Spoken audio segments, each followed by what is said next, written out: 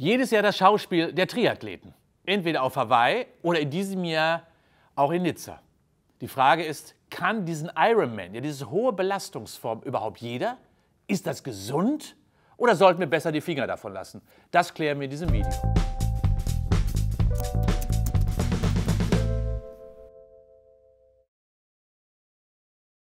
Sicher eine der Sportarten mit dem größten Boomfaktor in den letzten 20 Jahren, Triathlon. Die Kombination von drei Ausdauersportarten, Schwimmen, Radeln, Laufen. Alle kennen natürlich den großen Wettbewerb des Ironmans, ja, sehr populär.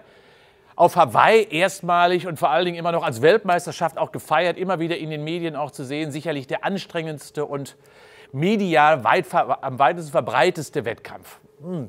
3,8 Kilometer schwimmen, 180 Kilometer Radfahren und hinten drauf noch ein Marathon von mehr als 42 Kilometer. Weltrekord übrigens gerade von einem Dänen gelaufen in Rot, 7 Stunden 24 Minuten am Stück. Für die meisten Menschen unerreichbar. Es gibt allerdings natürlich auch die abgeschwächtere Form oder eher die ja, populäre Form, weil sie am weitesten verbreitet ist, die olympische Disziplin. Die ist in einer Stunde 30 in der Regel in der Spitze zu absolvieren. Amateure brauchen da drei Stunden zu. 1,5 Kilometer schwimmen, 40 Kilometer radeln, 10 Kilometer joggen. Auch schon eine ganz schöne Beanspruchung. Und diese drei Ausdauerdisziplinen miteinander zu kombinieren, ist wirklich auch deswegen so unheimlich problematisch. Und deswegen ziehe ich wirklich den Hut davor, weil es so wahnsinnig unterschiedliche Formen der Bewegung sind. Und wenn wir uns mal die Weltklasse-Athleten anschauen, dann sind sie alle schon in einem höheren Alter. Jan Frodeno beispielsweise oder Patrick Lange, ja die deutschen Aushängeschilder, sind alle schon Ende 30 und haben auch so Mitte, Ende 30 erst ihren Zenit erreicht. Warum? Weil erstens man natürlich eine wahnsinnig lange Trainingshistorie haben muss weil diese vielen Ausdauerbelastungen, die da aufeinander kommen, setzen erst einmal voraus, dass man die verschiedenen Techniken auch optimal erlernt. Die sind so unterschiedlich, wie man sich kaum vorstellen kann. Und zum Zweiten, weil Ausdauertraining natürlich dann immer auch effektiv ist, wenn es möglichst lange gedauert hat, also viele Kilometer abgeschrubbt wurden und vor allen Dingen wirklich man so viele Kilometer gelaufen hat, dass man über Jahre oder Jahrzehnte eben ein paar Mal um die Welt wirklich sich bewegt hat. Das ist die Grundvoraussetzung, wirklich nachhaltig und langfristig ein Großer zu werden in der jeweiligen Sportart. Das ist für die meisten Menschen sicher unerreichbar.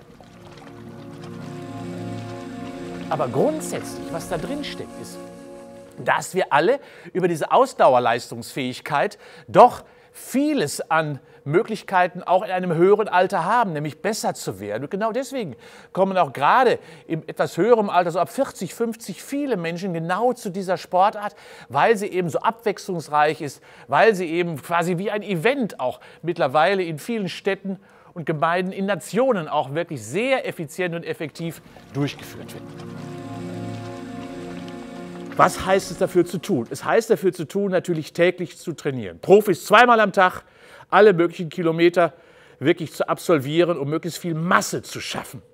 Und auch für uns als Laien, als Anfänger, als Anfängerin oder als Breitensportler heißt es, relativ viel zu trainieren. Und deswegen wird man wirklich zu einem echten Triathleten erst, genau wie einem, bei einem Marathon, erst nach einigen Jahren größere Erfolge erzielen können. Das heißt also, schnell geht es beim Triathlon nicht. Und vor allen Dingen muss man auch beachten, dass man wirklich richtig trainiert, denn die Überbelastung droht hier sehr schnell.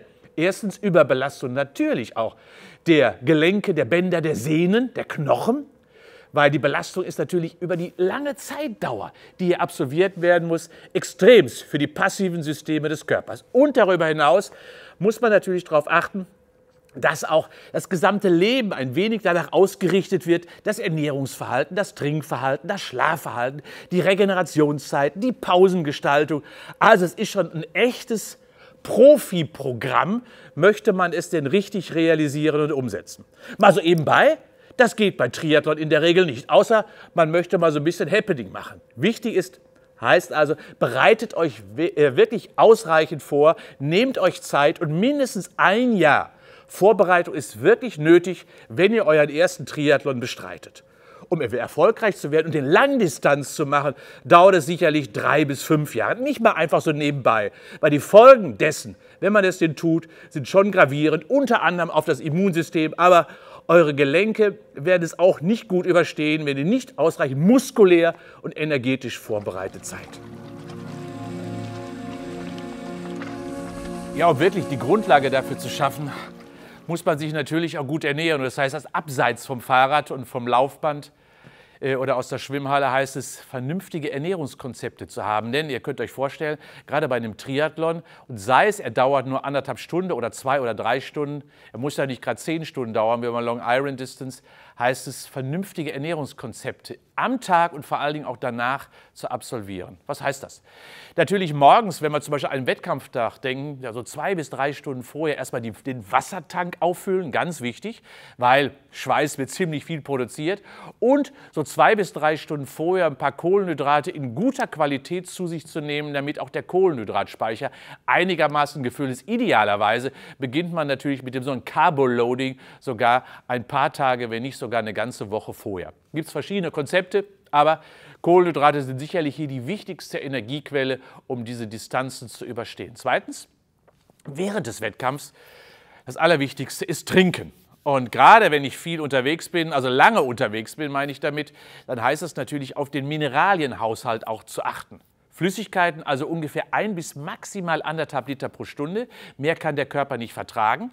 In der ersten Stunde muss es reines, kann es reines Wasser sein, aber danach sollte immer mal wieder ein bisschen Salze dazugeführt werden, mal rein faktisch ungefähr auf ein Liter Wasser mindestens etwa einen halben Teelöffel Salz. Das wäre hier die optimale ähm, Portion, um während des Triathlon ausreichend Wasser zu bunkern und nutzen zu können für die Schweißproduktion. Und dann natürlich wenig Energie in Form von festen Nahrungsmitteln tanken, weil die belasten einerseits den Magen, brauchen einen Kaubprozess, der auch wieder Energie kostet. Deswegen vielleicht am besten während des Rennens ja eher vielleicht in Getränkeform oder in Gelform, weil verflüssigte Nahrung ist besser und schneller einfach bereitgestellt.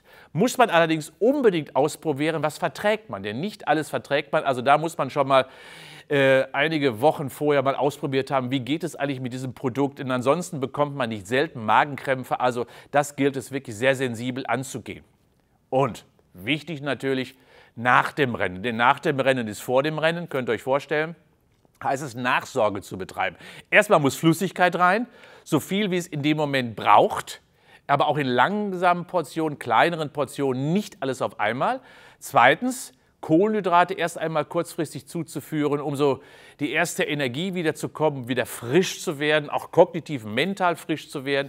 Aber das Allerwichtigste ist immer auch darüber nachzudenken, dass auch Ausdauerathleten Proteine brauchen, das gerade nach dem Wettkampf, damit die Reparaturprozesse sofort sich einstellen. Also hier darauf achten und das mindestens über die ersten sechs bis acht Stunden immer kleine Kohlenhydrat-Proteinportionen zu sich zu nehmen, um die verbrauchten Energiereserven und Aufbauprodukte dem Körper zu geben. Und ihr seht, Triathlon ist schon eine echte Wissenschaft für sich. Training macht schon viel Arbeit, aber dazu gehört dringend eine vernünftige, adäquate Ernährung.